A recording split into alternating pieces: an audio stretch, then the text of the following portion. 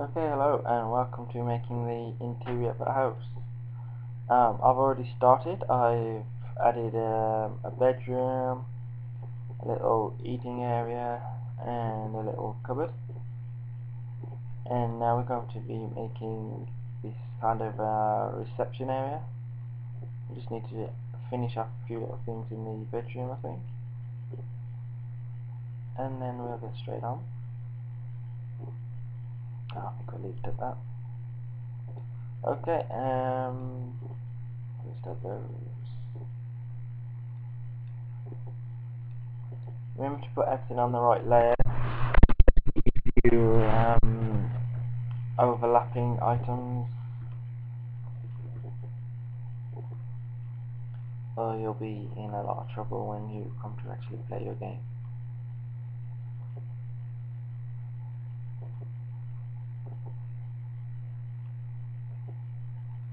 As you can see, I've not done the right layers there.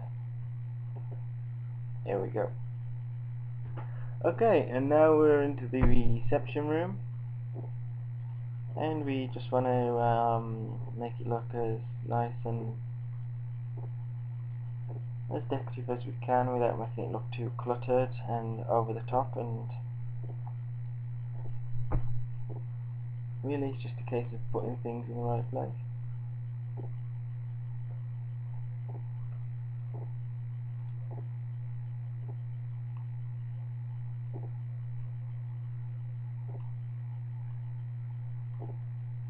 Now the kind of thing that I've gone for is quite um, a posh house, quite a decent house, so we're having lots of big rugs and um,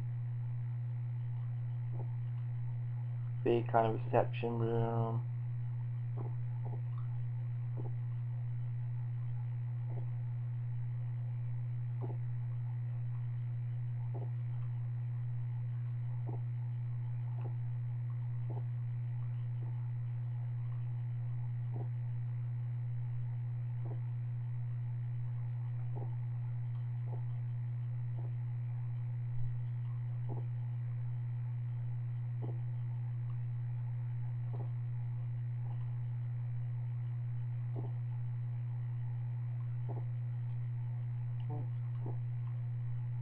There we go.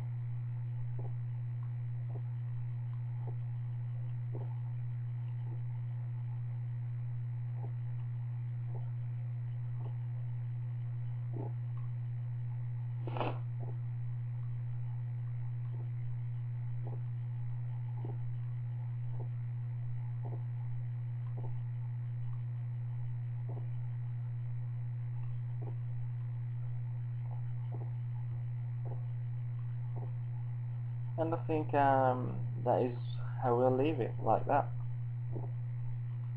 Now you will need to be um, creating events to be able to get in and out the house, so we'll show you how to do that right now. Okay, you want to be clicking on this little box here, that is events, and double click on the spot where you want to create one. Um, you want it to play at touch, and all you need to do is go on to transfer player into the place where you want it to be, so there. And you can apply that. And you can copy and paste that to um, there. Now you also need to be able to get inside the house, so we'll create another event here. And for this one, we will add a door.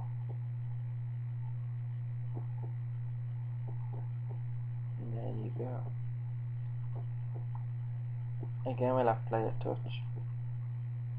Transfer player to there, I think. Okay. Apply. And so when we play the game,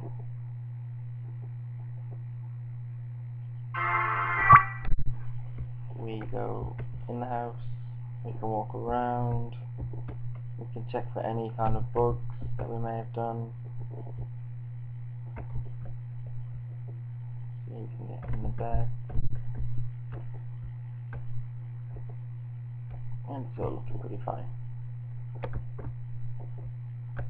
And there you go. Stay tuned for the next video. And remember to visit my website at uh, rpgmaker xp tutorials.webs.com